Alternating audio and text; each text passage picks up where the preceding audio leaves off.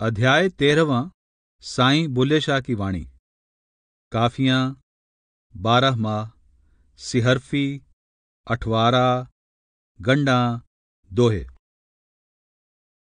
कुलियात में कहा गया है, मैं बेकैद मैं बेकैद। मैं बेकैद मैं बेकैद, ना रोगी, ना वैद। ना मैं मोमन, ना मैं काफर, ना सैयद, ना सैद। चौदी तबकी सैर असाडा, किते ना हुंदा कैद। खरा बात है जात असाडी, ना शोभा, ना ऐब। बुल्ले शादी जात की पुछने, ना पैदा, ना पैद।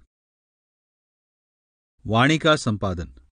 यहाँ बुल्ले शाह की वाणी के अध्ययन के लिए हज़रत अनवर अली रोहतगी की पुस्तक, कानून इश्क, डॉक्टर फकीर मोहम्मद की पुस्तक, कुलियात, या काफियाँ बुल्ले शाह डॉक्टर नज़ीर अहमद की पुस्तक, कलाम बुल्ले शाह, अब्दुल मजीद भट्टी की पुस्तक, काफियाँ बुल्ले शाह, डॉक्टर गुरदेव सिंह द्वारा संपादित पुस्तक, कलाम बुल्ले शाह, डॉक्टर दीवान सिंह और डॉक्टर बिक्रम सिंह कुम्मण द्वारा संपादित पुस्तक, बुल्ले शाह दा काव्यलोक प्रोफेसर जी एल शर्मा की पुस्तक, बुल्ले शाह, विवेचन ते रचना, ते प्यारा सिंह पदम की रचना साईं बुल्ले शाह से लाभ उठाया गया है। साईं बुल्ले शाह की अधिकतर वाणी काफियों में है। इस पुस्तक में आपकी अधिक से अधिक काफियाँ सम्मिलित करने का प्रयास किया गया है।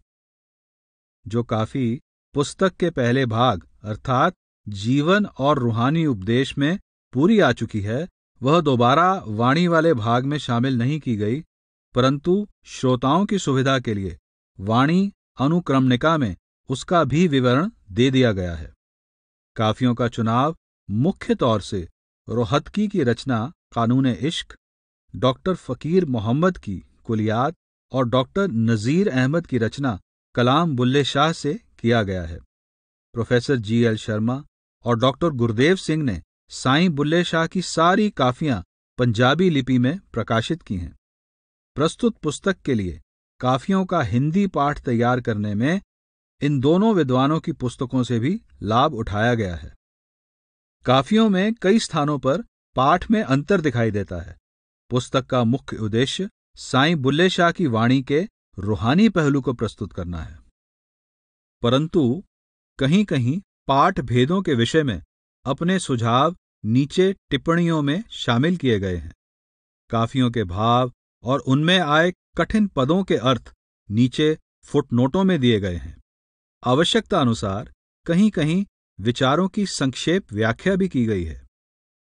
साईं बुल्ले शाह की काफियाँ गाए जाने के लिए रची गई हैं। प्रत्येक काफ़ी की पहली पंक्ति, टेक या स्थायी की सूचक है, जो हर पद्यांश के बाद दोहराई जाती है। पुस्तक में एक पद्यांश को दूसरे से अलग करने के लिए स्पेस दिखाई गई है या टेक को दोहराया गया है। काफ़ी गाते समय हर पद्यांश के बाद टेक की तुक को दोहराना आवश्यक है।